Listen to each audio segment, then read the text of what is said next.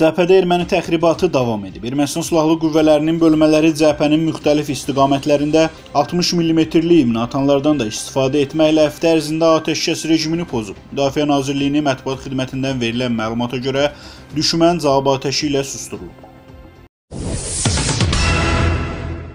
Azərbaycanın yeni baş nazirinin adı bəlli olub. Prezident İlham Əliyev Novruz Məmmədovun Azərbaycan Respublikasının baş naziri təyin edilməsi haqqında sərəncam imzalayıb. APA-nın xəbərinə görə sərəncama əsasən Novruz İsmailoğlu Məmmədov Azərbaycan Respublikasının baş naziri təyin edilib. Rusiyanın İzvestiya qəzeti Azərbaycana qarşı təxribata yol verib. APA-nın verdiyi xəbərə görə İzvestiya qəzetinin saytında Ermənistanın eks-prezidenti Hazırda baş nazir postuna namizədliyi irəli sürülən Serj Sarkisyanla müsahibə yer alıb. Jurnalist Aleksey Zabrodinin müəllifi olduğu müsahibədə yerləşdirilən fotoların birində qondarma Dağlıq Qarabağ separatçı rejiminin bayrağı və Azad Artsağa xoş gəlmisiniz yazılan lövhə əks olunub. Sarkisyanla müsahibənin bir sualı Dağlıq Qarabağ münaqişəsinə həsr olunub. Qeyd edək ki, 1917-ci ildə əsası qoyulan İzvestiya qəzetinin baş redaktoru milliyyətcə erməni olan Arseniy Ohanisyandır. Beynəlxalq Qırmızı Xaç Komitəsinin nümayəndələri Dilqəm Əsgərov və Şahbaz Quliyevlə görüşüb.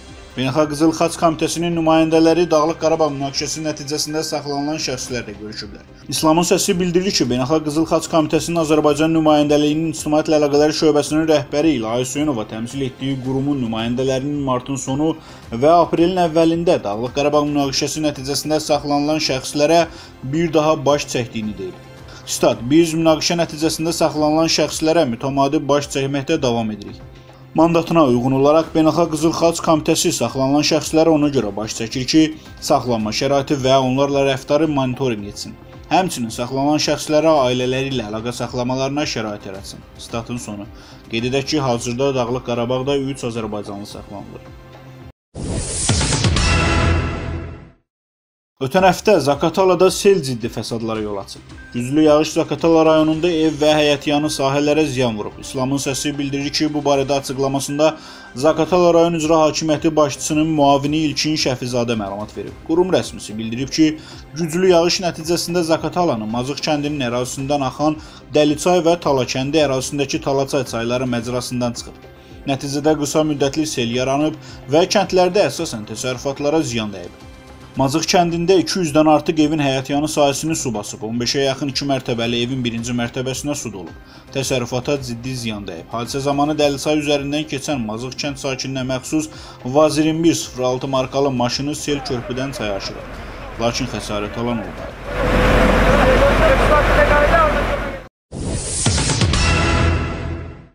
İl ərzində Azərbaycanda doğulan körpələrin sayı açıqlanıb. Cari il ərzində doğulan körpələrin sayı məlum olub. İslamın səsi bildirir ki, bu haqda Dövlət Statistika Komitəsindən məlumat verilib.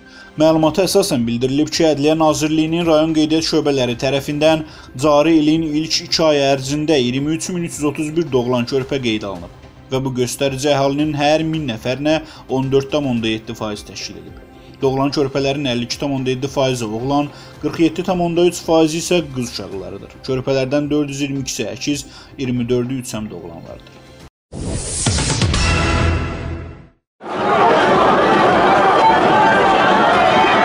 Ötən həftə dünyanın mənzərəsində də bir-birindən önəmli xəbərlər baş verib. Belə ki, Ermənistanı bürüyən etiraz aksiyaları ötən həftə də davam edib.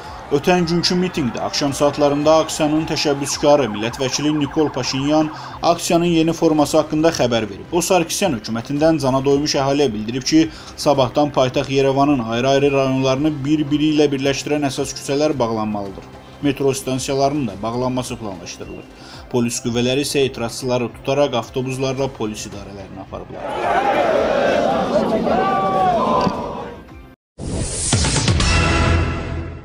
General Qasim Süleymani Sionist İsrail rejiminə sürpriz hazırlayır. Sionist İsrail ordusunun müdafiə naziri Avigdor Liberman ötən həftə keçirilən toplantı zamanı Suriyanın T4 hərbi bazasına etdikləri hücumdan sonra İran tərəfindən cavab zərbəsinə hazır olmağa çağırmışdı. Bununla əlaqədar olaraq Sionist rejimin qəzetlərindən biri İsrail ordusunun özünü İranın PUA və raketlərlə ehtimal olunan hücumuna hazırladığını yazıb.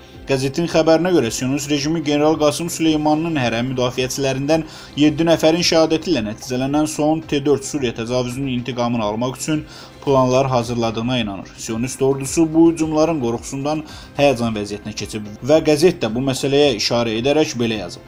Stat Fəth 110, Fəcr 5 və 1300 km mənzilli Şəhab ballistik raketləri kimi ikinci nəsil orta və qısa mənzilli qurudan quruya İran raketləri İran ərazilərindən İsraili vura biləcək qabiliyyətdədir. ABŞ-dan sonra Rumuniyada səfirliyini Qüdsə köçürməyi planlaşdırır. ABŞ-dan sonra Rumıniya hökuməti də səfirliyinin Qüdsə köçürülməsi barədə planı təsdiq edib. İslamın səsi xəbər verir ki, bu barədə plan aprelin 19-da məlum olub.